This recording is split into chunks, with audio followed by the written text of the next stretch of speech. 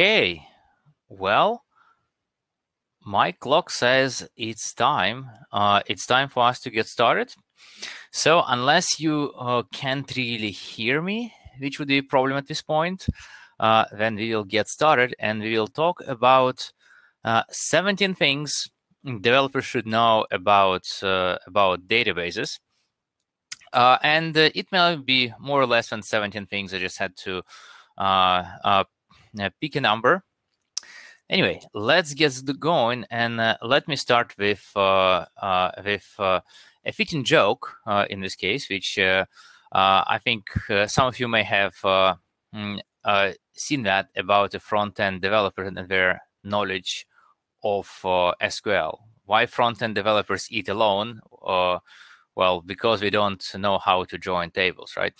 And I think this is very relevant uh, because indeed, uh, in the modern uh, technical community, we have a huge, huge uh, split of a different uh, knowledge.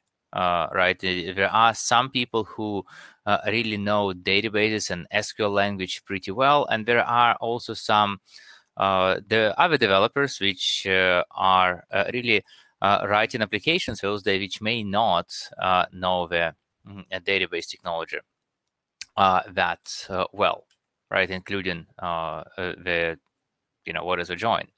Now, if you think about the most teams, uh, what I commonly see is this kind of a great split between the developers mm, and uh, the technical technical operations. Now, if you think about the operations, these are folks which are focused on uh, the database, uh, right? Uh, something like DBAs or uh, database architects or database reliability engineer, right? The titles have been evolved. Or there are some generalists which are also in charge of a data uh, database as a part of a whole, like sysadmins, uh, site reliability engineers, and so on mm, and so forth, right? We have those kind of two classes of people. Now, if you look at the, uh, a lot of uh, organizations, especially larger ones, we see there is uh, a lot of tension between the developers and ops, right? Now, if you uh, uh, think about that, there is a modern uh, concept, well, hmm, not super modern those days, right? I mean, it's more than five years old called DevOps, which was recognizing that and exactly focused on bridging the gaps between devs and ops right? In reality, mm, we see not all the organizations, especially large one, really adopted that very well, uh, especially when it comes to the databases, because databases they kind of uh, its own uh, often special snowflake compared to other parts uh, of uh, of infrastructure right so for example one of the approaches with uh, mm, devops you think about where Mm, continuous uh, deployment then you know you can really deploy things uh, quickly. If you break something you can quickly fix it. That is not how things work with database especially larger one. If you dropped the table you didn't intend to well chances are it will take a time to recover it from backup. If you need to run the alter table right to uh, you know add an index or column chances are that will take significant uh, point of time, right? So the databases uh, still require a special mm, care, even if organizations which are having that DevOps uh, mm, approach. Now, what I think is uh, even more interesting is if you look at the uh, very large operations, you often have an operations team which is very siloed mm, as well, right? Like we may have focus who are uh, focused on storage and network and particular operating system, right? And if certain things are not uh, uh working right, they may be mm, pointing uh, finger to uh, everyone, right? And then there is also uh, security folks which can, you know, establish some uh, additional roadblocks, be as a security rules or policies mm, and so on. Uh, in the nutshell, mm, very often uh, see the developers thinking about mm, the database uh, that can be explained this uh, simple way, right? From developer side, it is like uh, the question of why this stupid database is always a problem. Why it's always stop working and I am not doing anything wrong. Because from development standpoint, they are, uh, if you don't understand how a database works internally, they're just you know sending queries, and one query may not be different from another from their standpoint. But in reality, changing you know some sin, uh, single clause from and to or may uh, make a query thousand times more complicated, right, and take thousand times longer to complete. From operations people, or and I mean in this case the people who really understand and care about the databases, uh, there is always a question about developers. Why you do not learn the database design? Why do you create the tables with no proper indexes, and then uh, uh you know uh, scream bleeding bloody murder when things do not work, right? Why do you not uh, write optimized queries, right? Like go through a process of assessing how optimal query is before putting that uh, in production.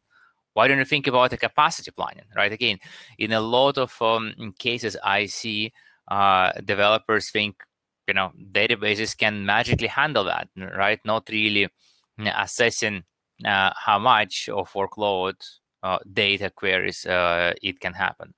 And all that uh, gets to their uh, conflict. Now, if you look at uh, one thing I want you to take away from mm, this presentation before we go at the practices for developers is what if you look at successful database operations, right? If you really want to build the mm, large scale successful database part application, you need to understand what database responsibility is a shared responsibility between devs and ops, right? And uh, uh, folks need to uh, uh, work that uh, together, right, to, resolve the problem.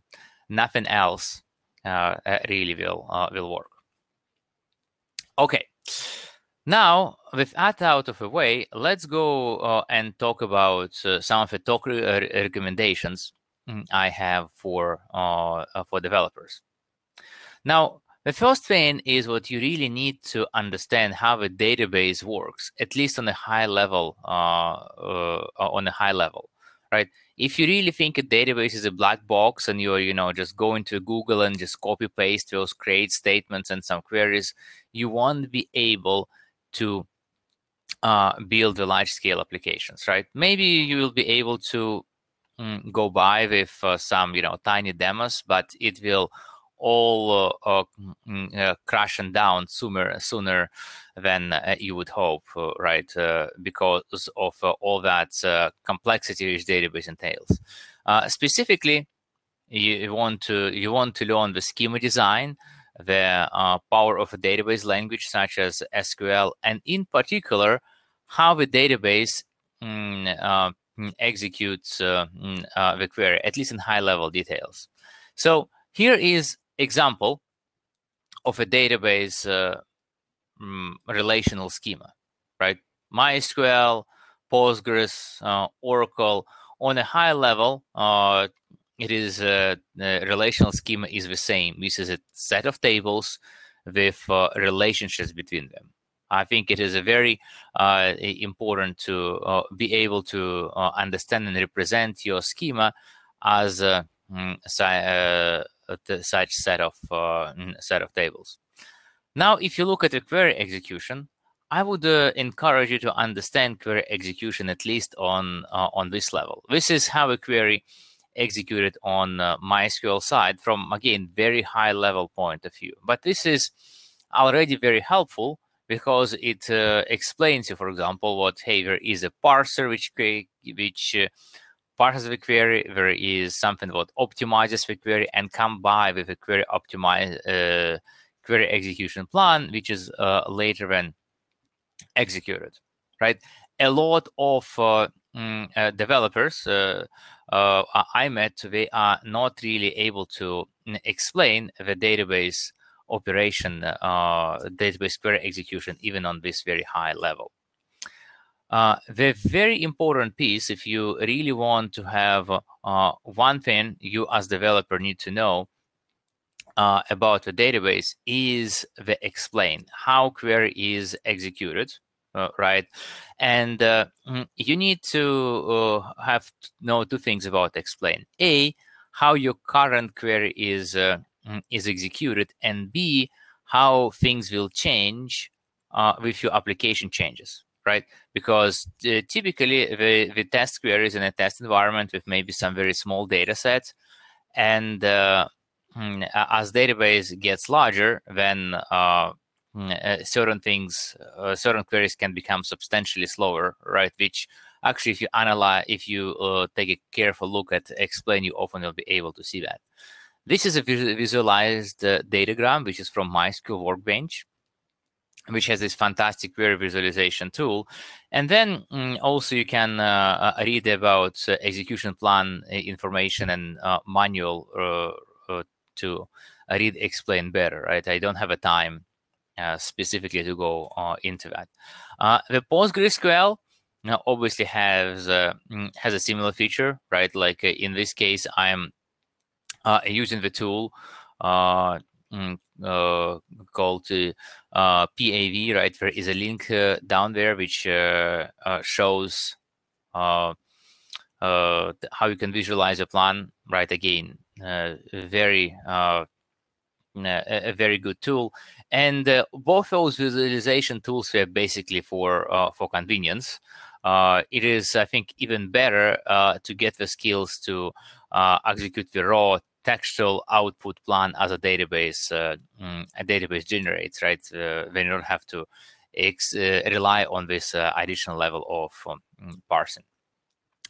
From Percona side, we are helping you to understand uh, the queries uh, for uh, all the open source database we support with our tool called PMM, Percona Monitoring and, and Management, which can show you what queries are causing the load on the system, or you can also see what are the slowest queries, what queries are causing temporary tables, uh, and so on and so forth. As well as why you're causing this load, where you can take a look at uh, a specific query and understand uh, what is uh, mm, uh, mm, uh what is uh, mm, what is this um, uh, the the what is the query uh, taken right like in this case uh, we can see for example what this query takes uh, disk.io takes only 3% of the query execution time. That means adding more memory or getting faster disk is not going to improve that query performance. And also how to optimize uh, mm, this query performance, which uh, uh, we do by providing the most important uh, information about the query, such as uh, query example. It's so you understand what query you're optimizing, their Mm, query output, explain output, and show create tables for involved tables, right? Typically, using that information, you are able to uh, understand how to optimize uh, your query.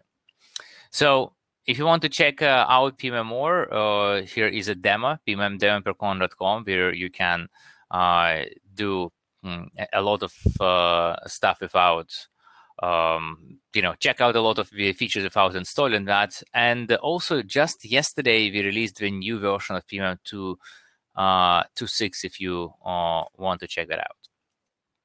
Okay, moving on.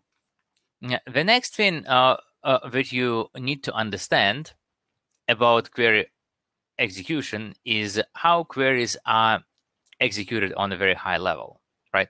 And again, for some of them, uh, MySQL old timers, that's maybe uh, look like a stupid question, right?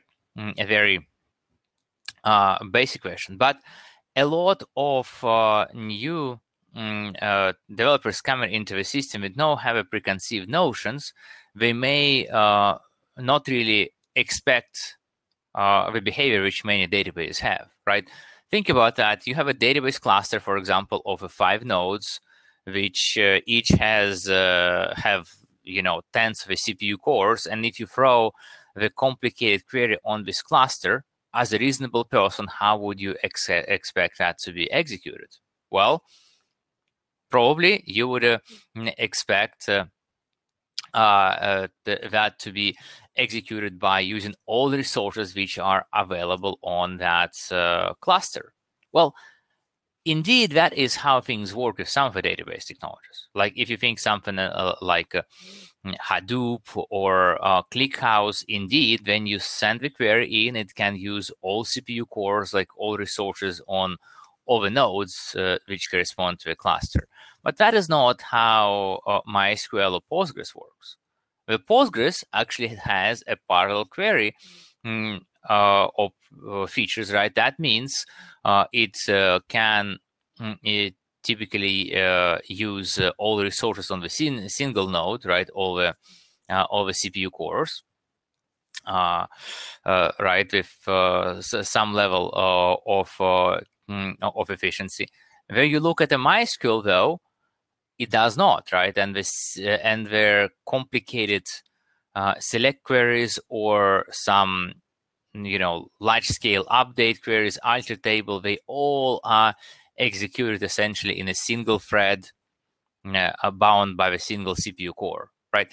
Which is um, which is an important uh, limitation of that technology. And as you're building your application, you need to know that because what you don't want to happen is you don't want to be developing your system on a single uh, single node, uh, let's say four CPU core system, and thinking, oh, you know what, it's no problem. I can make my queries a lot faster by uh, getting 64 node box, and then finding out what no, you don't because single query uh, can only run on a single CPU core in a technology you mm, uh, that you have chosen indexes. The thing about the indexes is uh, indexes are absolutely critical when it comes to uh, uh, to conventional uh, mm, uh, relational database, right? So uh, you really need to make sure your performance critical queries have mm, indexes they need. At the same time, indexes are expensive. Indexes slow things down right? Slow things down when a query cannot use those uh, uh, those indexes. Now, a lot of people understand mm, what indexes slow down queries, uh, uh update queries, right? Or uh, modifications, inserts, deletes, because when I am uh, updating the data, I potentially need to update all my indexes, and the more indexes ha I have, the slower things are going to become. Right? That is uh, are pretty clear. At the same time, that also uh, applies to selects because the more indexes you have, the more your data size will take. So possibly it will not have as uh, good cache uh, hit uh, anymore. And then uh, uh also the, the, optimizer will have to do a lot more work figuring out what indexes mm, what indexes to use, right? So in the uh, so do add indexes but do not add the indexes you do not need. Actually uh, this brings us to a very kind of telltale sign about the bad indexes practices right? There are two. If you give me their mm, uh, database schema dump like mysql dump often i can very easily spot when mm, uh, folks do not have proper indexing skills in the team. The first one is if i uh, see pretty much only primary keys created in the system, right? That means people do not understand indexes. They created primary keys because they had to or because they have been automatically created for them. Now, the second thing is if I see uh, almost every column indexed, right? Because some people uh, they take a very simplified approach to index and they go to Google and in Google they see, well, if you have uh, the column as a part of a where clause, I you should index that. That is a that is a bad idea. Don't index all comma uh, all columns, and in many cases you want to build the uh, multi-column indexes for better performance, not building indexes separately on uh, all the different platforms. The next uh, thing is uh, capacity planning. Uh, no database really have uh, unlimited scale, right? You always have to design for the load uh, uh, you have, and this and also the scalability mm, is very application dependent. Now, what is interesting in this case is you can tell, well, there are some technologies provided by the cloud vendors, being you know DynamoDB or Google Spanner, Cosmos DB, right, which promise pretty much uh, unlimited um, scalability. Well, the thing that they promise you is uh, what uh, you run out of money faster than they run out of uh, scalability resources, right? There is actually some design goals, and those systems are uh, not unlimited in scale. Well, frankly, there is uh, the a limit to the uh, scale of uh, those cloud vendor scale, right? And we actually have seen what uh, during the early days of uh, COVID pandemics, many cloud vendors experienced the capacity limits, right? Because people try to, who have been uh, increase in the traffic have been trying to uh, scale the instances um, and they couldn't right now another thing to understand is what the scalability is a very very uh, application dependent right it may not be just about the database system but in terms of how your application works so for example uh, if you uh, want to mm, you know troll some of those cloud vendors you can ask somebody saying, hey, uh, does your database support million updates a second? Right. And you probably would say, oh, sure, for Google Spanner, Cosmos DB, wherever, that is not a problem at all. Right. But then you can say, well, you know what? I need all those updates to happen to exactly the same row. Right. And then you probably say, oh, that is not going to work because serialized updates mm, to the single row, right, they really have, uh, uh, well, uh, uh they really have that serialization problem, right, which uh, introduces the scalability limits in this case. Now, of course, your application is unlikely to be that application where all load is just hitting uh, all updates on one row. But it is also probably is not going to be that perfectly scalable application which uh, vendors uh, tend to use uh, as a showcase for how well the technology scales. So what you want to make sure is you always take those promises with a grain of salt and do your own measurements, right? Do your own measurements in terms of uh, whatever mm, extent of scalability of the systems for you. Also pay attention to efficiency, right? Why is that important? Because if you look at, um, mm, at the in the cloud space, especially going to a higher instance uh, size or larger number of instances is a fair play in terms of optimization, right? It's kind of called tuning by the credit card in many cases, uh, but that is something which uh, can uh, really take you down a very wrong path where your application uh, will be working and maybe working with a good performance, but it will be horrendously inefficient, and that means it will be bad for your wallet and the uh, and bad for environment too. You know, wasting all those uh, mm, CPU cycles. Another thing when you uh, you need to know when you talk about scaling is this difference between vertical scaling and mm, horizontal scaling right? These are typically two important approaches uh, which uh, we talk about scaling data uh, data centers. Now, if you think about those approaches, the only one which takes you to extreme scale is horizontal scaling. You cannot build a Facebook scale application, for example, by uh, buying a very large single server. There is not such a large uh, single server for sale. But for many small and medium scale applications, which are majority by the numbers, you can actually uh, get by with a, a single powerful instance, often uh, having your uh, architecture much more simple uh, and cost effective be, because of that, right? That's why scalability and, and analysis and performance uh, and capacity planning is important because maybe you don't need the complexity for a scale you are targeting for uh, a foreseeable future, right? Uh, I think it's also good to point out what uh, uh, the scalable and efficient that are uh, kind of maybe often seen by people as a similar terms, but they're very different. And in fact, many systems which you uh, which focus extreme scalability they are not very efficient at that because from software engineering choices right it's uh, extremely hard not expo- impossible but extremely hard to build the systems which are very scalable and uh, mm, uh, very efficient at the same time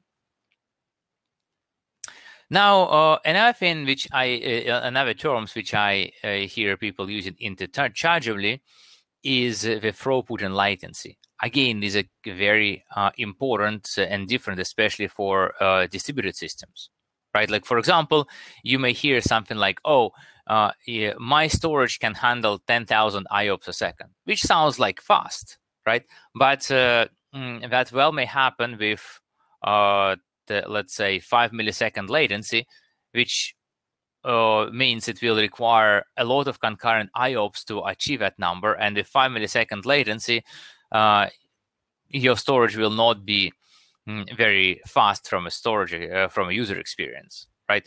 Uh, again, uh, understand the difference between between mm, between those things and uh, test to understand what exactly uh, you are uh, uh, you're hearing, right? And why this is important because in marketing materials you often would uh, hear claims about throughput, because throughput is easier to reach than latency, uh, right? And especially predictable low latency that is a, a, really hard problem.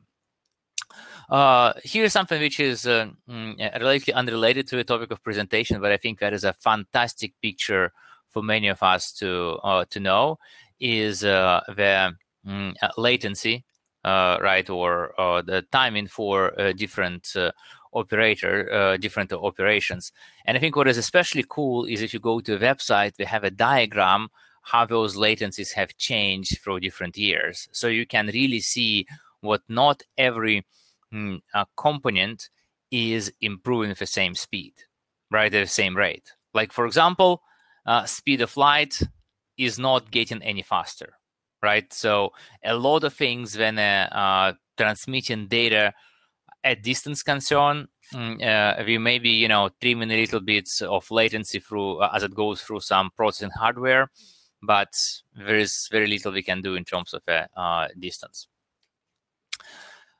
Getting back to specifically speed of light limitations, that is uh, where you really need to consider that for high availability choices. Because uh, the holy grail of high availability is to say, well, you know what, I want to have a system where I have uh, nodes in different countries, one in, let's say, US, other in Europe, a third in South America, right? For example. So it's really reliable, right? and then I want to make sure I have my uh, and they're very fast as well. Well, it doesn't really work this way, right? You have to choose if you're using asynchronous replication, in this case, propagation will be delayed, or you will have to pay uh, uh, for latency, right? It's uh, one, uh, uh, one of the two. And in many cases, what makes sense uh, actually is to uh, build the cluster, for example, if in a mm, same region, multiple availability zone with synchronous replication, and then for disaster recovery, use asynchronous replication to propagate data to some entirely different uh, region in case the whole uh, region uh, mm, fails. Especially, you need to understand what a wide area network, so networks which operate between different regions, different continents, they are different from your local networks. They tend not to be as mm, as reliable, especially when it comes to the single packet delivery, right? And you should expect increased jitter, meaning sometimes your latency spikes 10 times from when it's uh, normal, right, for five minutes and then go back to normal. Or maybe you know things will uh, go down for 30 seconds and then uh, recover. It's normal for wide area network but it's uh, probably not for your local area uh, network and you need uh, especially in data center level.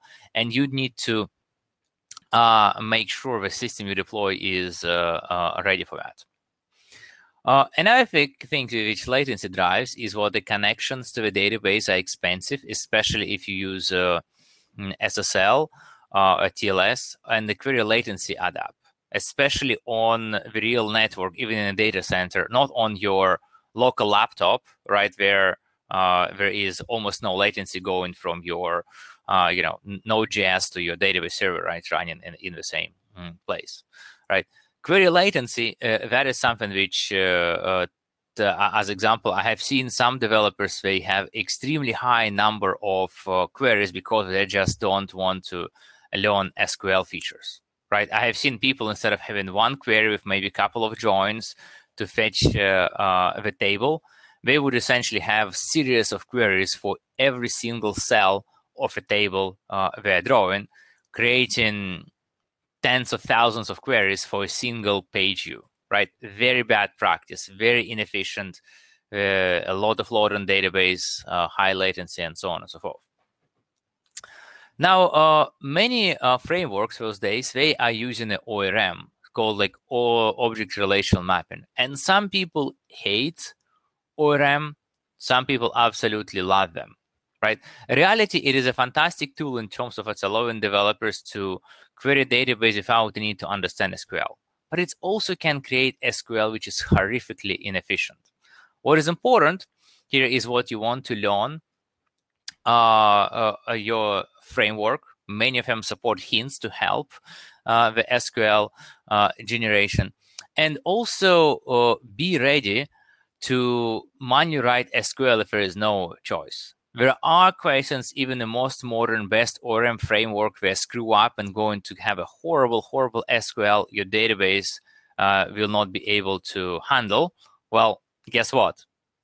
If it can handle, it won't. Uh, it won't fly. You just need to um, uh, get rid of that SQL and rewrite that manually, right, or uh, tune your ORM framework for the, uh, doing that.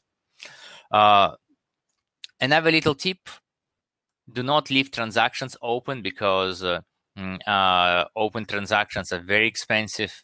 Uh, you know, bad for database can introduce a lot of bad uh, bad side effects. So make sure to uh, always uh, close transaction right when you are interacting with mm, with user. Another thing I think which is very mm, good to understand for developers is understanding what every database, like actually every system has an optimal concurrency, right? What that means is uh, if you, uh, mm, uh, let's say, create certain amount of threads and uh, use the database from all those threads, it will uh, perform at the uh, optimal level. If you create much more threads, you know go to thousands of tens of thousands of threads then performance actually will go down because all that effort which is needed to coordinate those threads synchronize them and so on and so forth right? Uh, that is uh, uh, the consequence of uh, uh, Gunther's universal scalability law mm, uh, decided here. And you better to oh, have idea at least in a high level what is that optimal concurrency for your database typically it's going to be tens or maybe hundreds or, maybe hundred right of, uh, of uh, active uh, uh, queries going on at the same time. It's not going to be thousands. Now how do you mm, deal with that? How do you keep your database operating in a level? Well you want to make sure what you embrace queuing that means what you are not sending requests to their mm, uh, not sending all requests to a database, but uh, maintaining the optimal uh, concurrency in some some case. Sometimes the queuing can be done from uh, you know normal queue sometimes the queuing mm, kind of magically happens when you're using the connection pooling right so for example if i am uh, developing in java and i limit my connection pool to i don't know let's say 64 uh, or 128, if I have a spike of a load and I need thousands of database connections, well, I can actually wait for a connection to become available from a pool, right, and uh, limit that uh, load uh, mm, this way. Or I can use tools like uh, ProxySQL uh, to do that. Finally, in a software such as Percona Server or MySQL Enterprise, there is their uh, thread pool functionality built in, then you can uh, can essentially do that uh, connection pooling on the mm, on the database uh, on a database size. If you think about uh, ProxySQL and other database uh, technologies, there are also similar technologies exist, like PostgreSQL has tools like pgpool, pgbound bouncer, Odyssey, right, and a few hours. in general, all those practices uh, I would sum up like uh, uh, like this, right? I would say they're uh, law of gravity as it applies to application developer, where uh, shitty application at scale will bring down any database, right? The best tuned, the most expensive, open source, commercial, uh, doesn't matter. That is the universal law of gravity. Okay, a uh, few more tips. Scale matters right? What you want to make sure is, is what if you're developing and testing a toy database, you're probably not knowing how a query is going to perform. In many cases, it's very convenient, right? You can do it uh, uh, very quickly, you know, reload the database if you need, and so on and so forth, right? But make sure you don't go from toy database to production. Make sure you uh, have some staging database or whatever, which has a data set which is a uh, similar size and similar kind of a relationship as a production database you expect, right? Uh, especially this is important because slowest queries may slow down most rapidly, right? And you may see uh, some of your bad queries to become thousand times slower when you increase the data size only by 10 times. Memory disk, that is a related issue, right? Where if data is in memory, it's much faster. Even when we're speaking about modern SSDs, so if you are having a small data set which fits in memory on a test box, and then you go into much larger data set which is additionally doesn't fit in memory and require disk I/O, uh, performance difference can, will be multiplied uh, because of that. Newer is not uh, always faster, right? Upgrading to new software and hardware uh, does not always uh, give you performance uh, uh, benefit. So make sure test it out. In certain cases, defaults are to blame. Like for example, some of the new Linux kernels have become more secure by defaults, right? In terms of all those, you know, security uh, issues with, pro- with processors supported over the last couple of years. But uh, that may also made them mm, made them slow, right? And defaults uh, those are often to blame. So make sure you uh, you test uh, you test it out. Right now, the upgrades when it comes to the databases, uh, this is where you store your data. So uh, so running the database which is uh, out of uh, past end of life and often not an option because of uh, uh, mm, security risks, right? Because there may be some security holes found, and there is no patch coming out for uh, for something like MySQL 5.1, right, or PostgreSQL 8.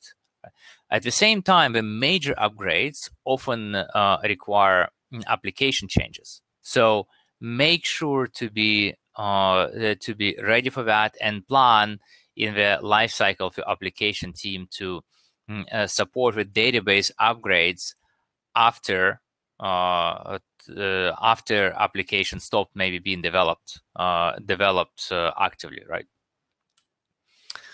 Uh, character sets. That is another interesting thing because it has a huge performance impact. It's also pain to change after you set it. And also, if you have a wrong character set um, or character set mix match between your application uh, and um, mm, and database, mm, right, then mm, uh, uh, that can cause uh, their the because they can cause the mm, data loss. Mm, right. here is also an interesting thing for MySQL in this case about the uh, impact of a character set performance. And you could see in a MySQL 5.7 actually going from Latin 1 to UTF-8 had a quite uh, uh, different uh, different performance. In MySQL 8, a lot of that performance gap was was closed, and MySQL 8 actually has UTF-8 uh, uh, by uh, by default, right? Why I point this out is relating to a change in default. Some people do complain uh, about the MySQL 8 performance in benchmarks, uh, but they don't recognize that MySQL 8 has a different default for character set. Actually, much better one because so much applications use smiles those days, right, and so on and so forth, which are only represented well in UTF-8 uh, character set. Another thing to uh, to consider is the operational overhead. In many cases, when you speak about capacity planning or time uh, which is needed, it's uh, all focused about the normal uh, database operations. But if you think about where things like uh, uh, the you know the large scale database uh, backups or upgrade, even adding the table, they take time, it costs money, it introduces additional overhead uh, when it runs, and you need to make sure there is enough scale capacity to do that. I have seen so many people saying, well, you know what, we can't actually run backup on our database. Well, because when you run backup, our application team tips over. Well, that is not a good capacity planning mm, practice when you can't really uh, can't really run uh, backup. On the automation. Now, automation is something which is interesting, right?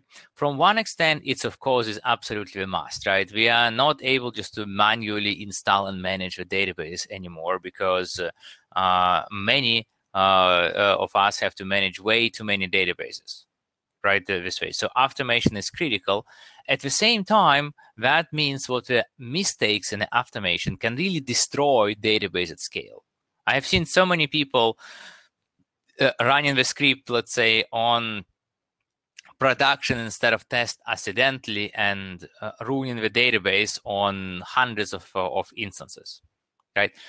What you need to mm, do to avoid mm, this is you want to make sure what there is a lot of testing done for your automation framework and practice which prevent you from running uh, the scripts in development production. Some those practices are pretty simple. Like, for example, do not use the same uh, uh, passwords for development and production. That means even if you accidentally point your script in the wrong way, well, it's uh, it will fail, right?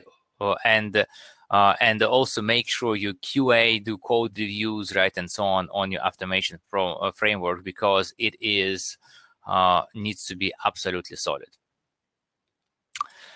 Uh, then uh, uh, we are finishing up with our mm, security, right? The databases is where your most sensitive data tends to live, right? I think that is um, mm, pretty obvious. And taking care of that data is a shared responsibility of devs and ops. In so many times, I've seen mm, developer thinking, well, database security is ops responsibility. They change password, they paste it, uh, uh, they patch it, and so on and so forth, right? But that doesn't quite work this way. For example, SQL injections and other bugs uh, which come with, mm, with uh, uh, uh, with uh, buggy applications, they cannot be uh, efficiently solved by ops people, right? We need to have make sure that security conversation is had, and devs and ops are working mm, working together to to resolve it. Okay. with that, I also had a couple of uh, announcements to make. Now, if you really want to, to learn more about the databases, uh, we at Percona also taking our conference online next week as a Percona Live online, and that will be the single track 24 hour around the world uh, uh, event. So we're doing it a little bit different format, but uh, uh, I think that's going to be a lot of fun. So uh, uh check it out and register if you like. We have speakers from a lot of the very uh, a very cool uh, company, right? And we'll also share some uh, new developments in the Percona software. And also, mm, I have a little favor uh, to ask. We are doing the open source database um, survey, uh, right? Uh, we really want to know how you're using the open source database so we can help you. Mm, will help us to serve you better uh, to be more focused on our software development. And also, we are going to share uh, all the results uh, under a creative Commons license, right? So there's a link. Yeah, I think you have like a five minutes before closing keynotes. If you open it up on the side and complete right now, I would not mind. And with that, with that, I had a comment, a question from Debbie. Yes, I, think a point here on whether it's Postgres or other uh, databases, indeed the old version, they tend to have a very high stability and maturity, uh, but uh, sooner or later, uh, they are not going to be uh, getting uh, bug fixes, right? Even security, bu- security bug fixes, and that that means if something something change mm, changes that becomes uh, uh, problematic right? Having said that, I think uh, there is a lot of uh, PostgreSQL or MySQL application, which uh, applications which have been, you know, working fine on the database, which is like 10 years old, mm, old plus, right? We just mm, don't have to follow that security compliance practices, right? Or just have been lucky. Okay.